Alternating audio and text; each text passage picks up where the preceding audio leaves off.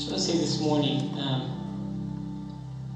I know I can safely say in, my own life that probably 99% of the problems in my life exist because of an absence of prayer and exist because of an absence of seeking God in the secret place. And I think the reason that happens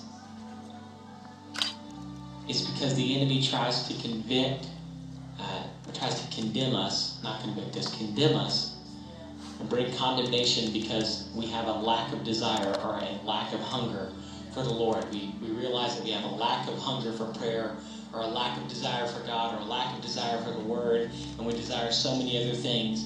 And really, what we don't understand is that when we realize that hunger, that's the Holy Spirit. I used to be, I used to be really uh, ashamed of that when I would realize that I didn't have a hunger for God, or realize I didn't have a thirst for the Lord, and I didn't. I just it would push me away from God. But then the Holy Spirit, Spirit began to speak to me and say, "That's me showing you that you need me." That's me. I'm showing you that you have a lack of hunger, a lack of desire. So just pray. Pray. Seek me. Seek me. And so I began to ask the Holy Spirit, give me a desire for you. Give me a thirst for you. Give me a hunger for your presence. Give me a thirst, a hunger for your word and a thirst for your presence. All we need is a hunger for God's word and a thirst for his presence. A hunger for his word and a thirst for his presence. That's all we need. Yeah. And you know what? Secret worship and secret prayer inspires real, pure worship corporately. When we worship God in the secret place, it inspires real worship corporately.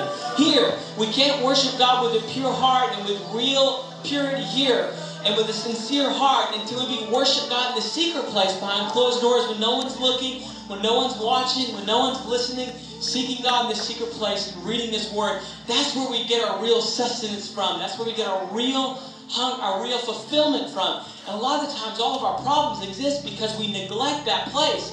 We neglect the secret place, and then we wonder why all the stuff's going on. We wonder why the enemy's gaining all this territory in our life, and, and we're struggling with all this stuff. And most of the problems exist because we neglect to go behind the closed door and to seek God in the secret place. The disciples saw that Jesus was getting something from somewhere.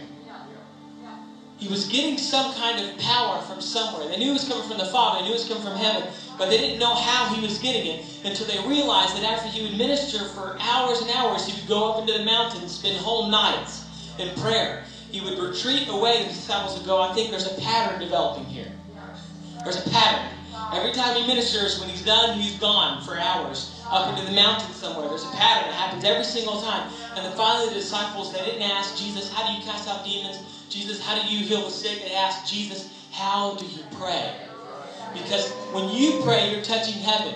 When you pray, something happens. So just teach us how to do that. And then so we can be just as joyful as you, just as happy as you, and do the same things that you're doing. We want to do that, but we know that it's coming from somewhere. And, it, and it's something that we haven't learned yet. So they asked Jesus to teach him how to pray. And Jesus taught him and what did he say? He said, Don't be like the Pharisees. They throw up a thousand religious words and they repeat it over and over to try to get, and they do things in public to be seen by people. But when you pray to your Father, pray from the heart, pray simple, pray like this Our Father who's in heaven, my Father, my Father, my Father, like a child. Pray like a child. So if you feel a lack of desire, pray that. Say, God, I don't have desire. I don't have thirst for you. Give it to me now. Give it to me now. Give me a passion for you. Give me a hunger for you. Give me a thirst for you.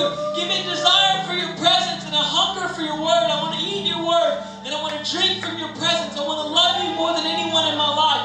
Give me a passion for you. Let that inspire you to pray. Let that inspire you to seek the Lord and get away with Him in the secret place.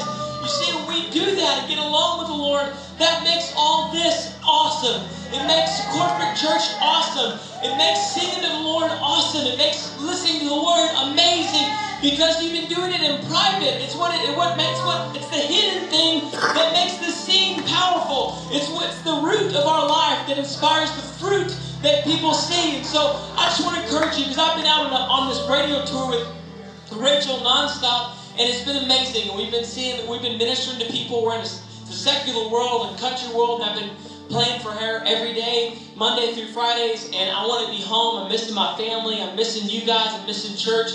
And, and there'll be times I just get in that hotel room and just God, I want to go home. God, I miss you. I just, I, I'm, I alone. I don't know what to do. And in that hotel room, I'll just cry out to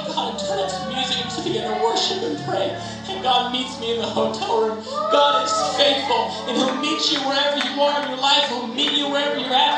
He wants to show you that all you need is Him. You don't need church. You don't need a preacher. You don't need a singer. And then that's the other amazing thing about prayer is that when you pray and you seek God, it doesn't matter if they don't sing that perfect song or they don't preach that perfect message or they're singing out of pitch or the band isn't playing well or something's not going right. It doesn't matter because your heart becomes like a sponge. Or if anybody just says Jesus it, it breaks you down, or if anybody just speaks of scripture, it draws your heart.